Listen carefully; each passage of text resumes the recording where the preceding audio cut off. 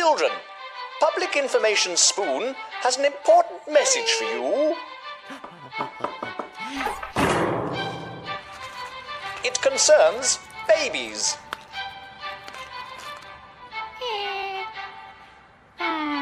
So, what is it that you want to say, Public Information Spoon?